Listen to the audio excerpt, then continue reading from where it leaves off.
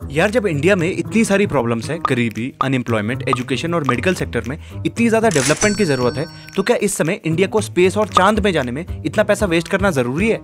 अच्छा हमको सिखा रिया है। ऐसा मैं नहीं कह रहा हूँ बट ऐसे कई सारे लोग हैं जो यही सवाल सोशल मीडिया ग्रुप्स में पोस्ट करते हैं। बट अगली बार कोई आपसे पूछे तो ये आपको पता होना चाहिए।